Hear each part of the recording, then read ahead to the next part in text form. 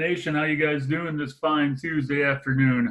Uh, we've gone over a lot of stuff in the previous uh, episodes, and tonight we have our player personnel director and the head of the Met Scout team, Mr. Ronnie Lemond. Ronnie, what's up, man? Nothing, buddy. How you doing, man? Doing good. You just get back from practice? Yeah, I just got done at the facility. Uh, just just walked in the door maybe about three minutes ago. All right. Um, you know, we, me and Jordan Ostroff did a uh, podcast about travel ball the other day, so I wanted to stay on that topic a little. And uh, why don't you give us uh, insight on your travel ball program? Tell us about it. Yeah, no worries, Chris. Um, I did hear that podcast, and uh, definitely there was some very valid points in in what was said. Um, you know, I don't really, I guess I don't consider my program necessarily a travel ball program. Uh, of course, you know, with, with me being with NLI also, uh, it's uh, a recruiting, um, it's a program that, that teaches kids the process. Uh, we do play tournaments, but with that in mind, we are putting kids out there uh, with the right idea of how to be recruited we only carry one team per age group. We're not here to put multiple teams in uh, in events. We're here to focus on each team individually and the kids within that team so that they can get the proper attention and uh, be directed the right way to to help their recruiting uh, you know the recruiting process. Yeah, no, absolutely. You guys definitely do it right. Um, there's a lot of attention paid to every individual player in your program, and uh, I commend you guys for that. You guys have a lot of heart and you play your uh, cojones off. Yeah, I mean, we try to we try to um, you know, of, of course, with our program, it's a 3.0 to be able to even play in our program. If they don't, I don't care what the talent level is. You know, my ideation and thoughts are that if you can't carry a 3.0, you're probably not going to be able to handle everything within, uh, you know, the the collegiate baseball program. You know, with the academics and everything that it entails. No, absolutely. So I got a question for you. Um, sure.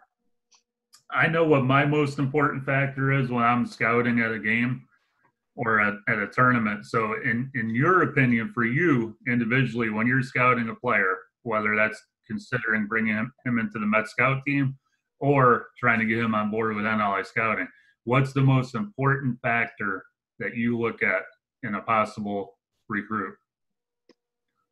Uh, you know, it's it's funny because I I use the term bulldog, um, and I use it. We have a 12 year old team too, which uh, you know in our program, which is younger. And even if I go out there and talk to those boys, you know, you you you always want that bulldog. You want the guy that's gonna just never want to fail, whether it be in the classroom, on the baseball field, or whatever it is in life. They want to be a go getter, and they want to they want to do everything everything they can to to achieve their goal. Um, so I, I guess I, I, watch really the the effort, um, the the way they interact with teammates when they're on the field, um, but you know, doing things the right way, handling themselves as mature young men, and dealing with failure because there's going to be a lot more failure in this game than there is going to be success as we know. So so watching their emotions when they do fail. I'd rather see a guy's emotions when they fail than when they succeed because pretty much everyone we see when they succeed are you know it's all good and cheering and picking kids up and whatnot but but when you fail uh, that's when you really know what that person's like. Absolutely. When we're looking at recruits let's just stick to nli scouting it's to be assumed that they have the skill set that's projectable to some level of college baseball. Uh, but I'm with you. I'm looking at the kid's mental makeup. That's my most important factor that I'm looking at. Um, I'd rather see a kid who I know is projectable, but the game I'm watching him, he goes 0 for 3 with three Ks. I, would like to see that rather than him go three for three because I want to see how he handles that. Yeah, and then if you watch, if you're able to catch that game where he went over three, and maybe he has that next game, and you you see how he approaches his his plate appearances in the next game. If he's left that, you know, the game before, left it with the game before, and if he's a, if he's coming out pumped up to play again, or is he just got his head down coming to the next game? you know, you you know, being a coach and, and running programs, I mean, there's definitely guys in my program that, you know, you'll that I'll see that that that do that, you know, and you, you learn, you know, when we pick these kids up in tryouts and and we go through this, we don't know those kids necessarily. We may have heard of those kids' names and and whatnot, but until you actually have them on your team, you learn a lot about them. And you know, we don't we don't always pick the right guys either. You know, when we when we do this, and as far as you know, with our scout team program, but uh, we we do pretty well with what we pick. You do. You guys have some uh, good pro- talent in that program for sure. Um, before this call, I was on a uh, another Zoom call with Cornell University. They were actually interviewing me about what we look for, uh, similar to this conversation, and uh, they were focusing on the uh, sabermetrics or the you know technology part of the baseball. So my question to you is, how much credence do you give uh, uh, Rapsodo data and stuff? Is that more important than your eyeball test? I mean, you know, the thing is, is I just I feel everything can be used and it's it's an asset. So if you have everything, but at the end of the day, the kid's got to be able to play. Uh, the first thing and foremost is, you know, is, is does that kid have the skill set that that's needed to play at the next level? Okay. Um, you know, of course, what is his grade? What are his grades? What is his attitude? Um, but then once you you find that out, I mean, definitely, you know, we use Rapsodo in our program. We have the pitching and we have the hitting, and and that data, you know, we'll use that, and these kids will see that, and we'll try to um, take those numbers and those metrics and increase those and you know try some different things and and these kids love to see themselves you know uh, in video and when you when you show them the video with the metrics in it, it it is it is definitely something that is valuable for sure yeah, no doubt, no doubt. And I think it's a good compliment. You know, you got to look at the whole ball of wax with your eyeballs and with uh, the data that we're lucky enough to be able to uh, evaluate on a consistent basis now at the amateur level when you understand it all and you you, you learn how to to use those um, those metrics and what those all mean. I mean, a lot of people will talk. You know, they go into the launch angle and they talk about this and that. And you know, I mean, a lot of people think you know launch angle is just hitting home runs. I mean, that's just the angle here in the baseball. So at the end of the day, not every kid wants to have the same launch angle. We don't even talk about launch angle first off and foremost. But if we were to talk about those numbers, you know, it's uh, that that data we may use different terms with them and to show them. But at the end of the day not everybody's going to have the same you're not going to want to do it the same way as, as, another guy. You might not be built to do it that way. Right. Yeah you could have a six four guy. Correct. Maybe uh launch angle might be a little more important than a five eight middle infielder. Right that that has no you know really maybe if he if he if he gets into one or runs into one you know he might get get one out but it's not something that he needs to be focused on. You know he's more of a you know uh, uh, focusing on you know middle backside or whatnot and right. and understanding how to use his strengths. Yep absolutely. Okay so i know you and i agree on this topic but i want your perspective so the viewers that watch us uh, twice a week on youtube and if you're not hit that subscribe button guys. We, we give you good stuff. So i want your viewpoint on this. Um, how important is it for the recruit to be proactive in his own recruiting process Oh man, today it's even more important than than ever. I mean, that's the biggest thing that that we do, not only within NLI, but even within within the Met Scout Team program. Is you know we we we basically you know I drive the bus. These kids are on the bus, and uh, hopefully you know with me driving the, the bus, they're they're actually you know on the bus to learn. You know, I can't do everything for them. Um, I can only drive the bus and guide them they have to actually you know put in the work. But but we give them that information and it's up to them to utilize that. But i mean these kids definitely need to be using video with with what's going on. They need to get it out as much as possible. They need to be accurate with the with the data that they're giving them and you know don't inflate anything because you will be exposed and that's the last thing you want to do is be exposed for something that's not true. Um, but uh, you know reaching out to coaches, uh, letting them know when you're going to camps.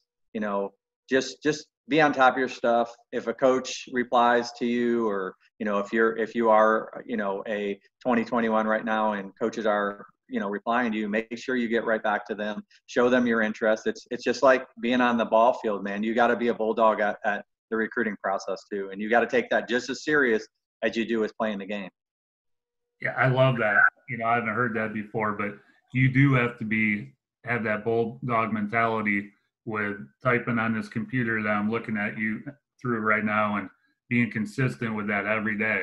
Have to be you know, the thing is too is just like we talk about failures on the baseball field or maybe a failure on a test in a classroom. I mean, there's going to be failures with your recruiting process too. You may be you you you might think, you know, this this this dude's all over me. He loves me, you know, he's he's, you know, and and you may, may get letdowns. And and how are you going to battle through that to find the perfect fit? Because not everything is going to be golden through the recruiting process. And it, it's up to you to be a bulldog again and and eventually you'll find the right fit and that could be division one division two division three naia juco. It, it, it it's finding the right fit. Absolutely.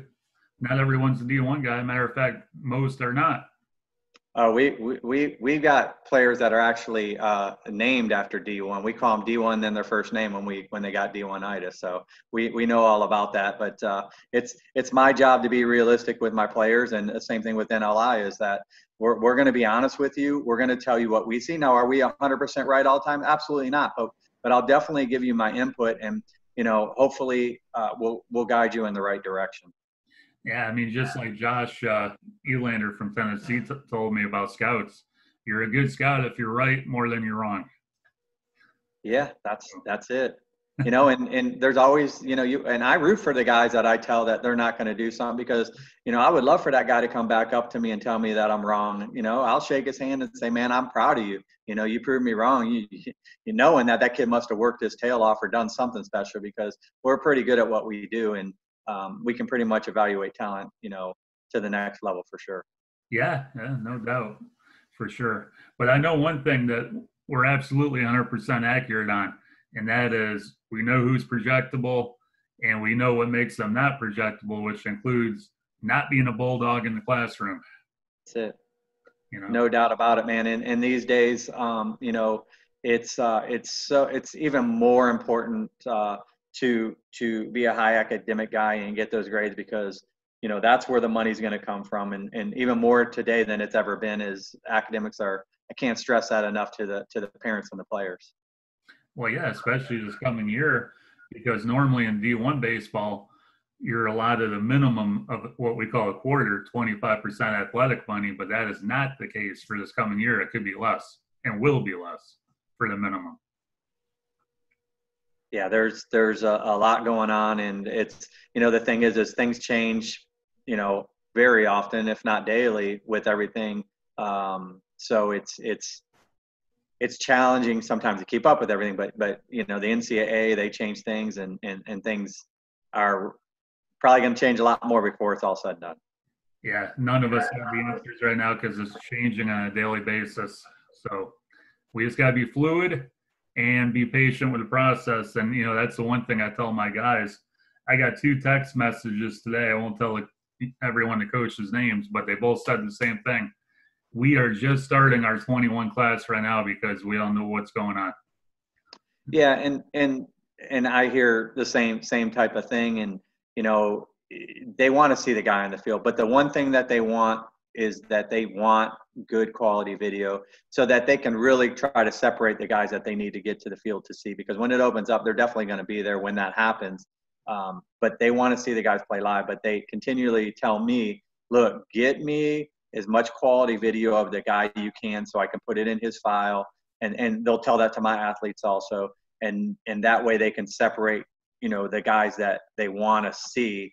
Um, it, will start to separate you if you're given good quality video yeah no absolutely and as you know there there are some programs that are making offers on video only not absolutely. all but there are some yes i just heard of one this the other day that uh, uh, got an offer um, from being at a tournament that was a live stream, and that was a position player. So it's it's that's not that it's starting to happen a little bit. They don't. I know they don't like to do that. I wouldn't want to do it that way either. But you know, they've gotta they've got to fill those rosters too.